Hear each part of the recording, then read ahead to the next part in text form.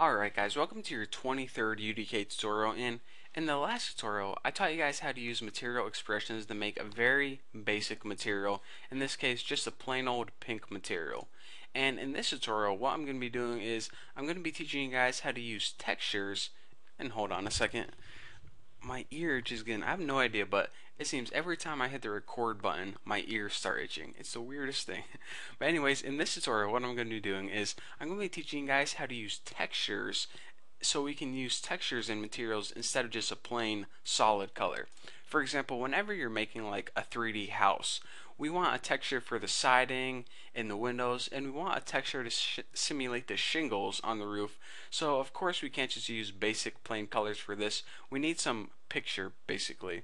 So typically we're going to create textures in places like Photoshop in external programs or you can go ahead and buy textures offline but for now just to make sure we're all on the same page I'm just going to be using some built-in textures that are already included in the content browser so the very first thing we need to do is we already have our package in our group set up. We need to create a new material.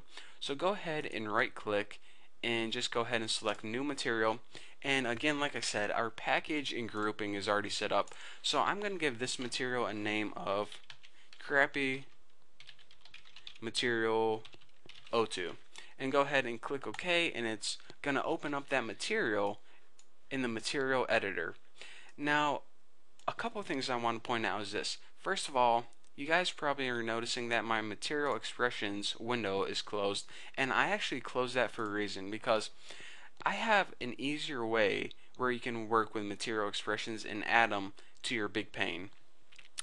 Now aside from just dragging and dropping them from the material expressions window you can also right click and select all of your expressions from here and this gives you a nice a better organized list that all your material expressions are rather than this window where you have to scroll down and find them all. So go ahead and close out of that. I'm not going to be using that anymore. So in order to add a texture to a material, what we need is the material expression texture sample. So go ahead and right click and under our texture group, we're going to find this new texture sample. Now go ahead and we're going to be applying this eventually to the diffuse property right here. So go ahead and control and scroll this up to the diffuse. Now I want to say this before I even continue. In the last tutorial I told you guys that the diffuse was kind of the overall color of your material. That may have been confusing and I probably shouldn't have chose those words.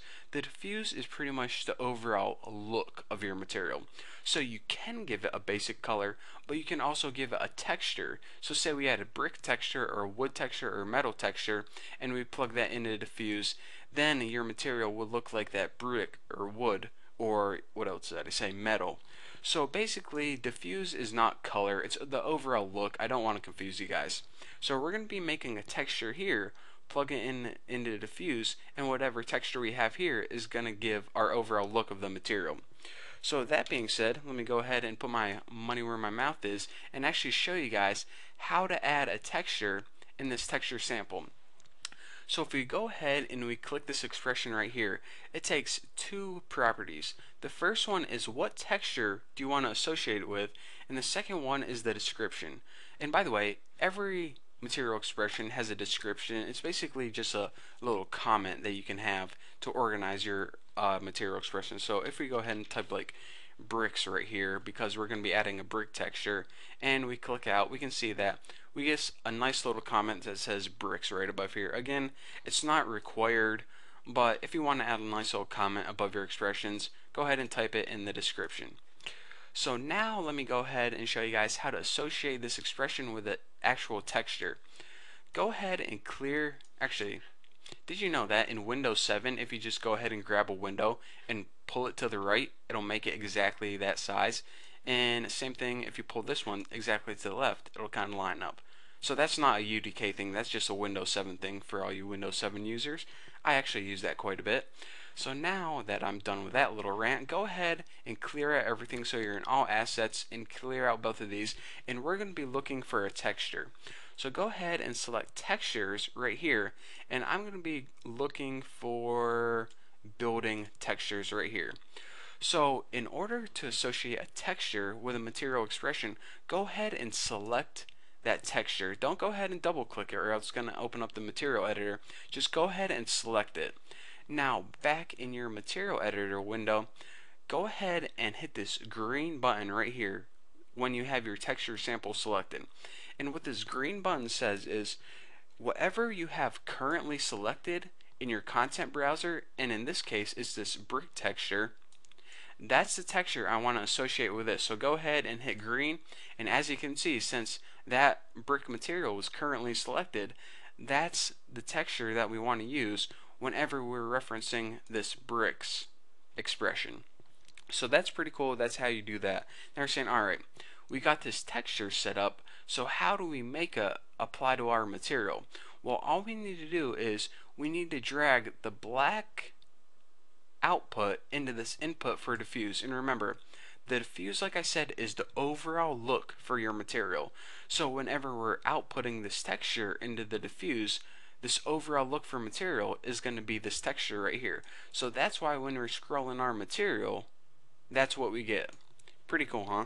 So in the next tutorial, I'm going to be telling you guys how to add uh, kind of like detail or, oh, well, I'll, I'll cover that in the next tutorial. For now, don't worry about it. For now, all you have to worry about is go ahead and apply these changes, and that's going to save your material basically. And then make sure you right click and save your package as well. And that's going to save everything inside your material. Just go ahead and make sure you clear out of that so you can see it. So now our material is saved and we are good to go. So that's all I have for you guys in this tutorial. In the next tutorial, we're going to be editing this brick material to make it look even better. So thank you guys for watching. Don't forget to subscribe, and I'll see you guys in the next video.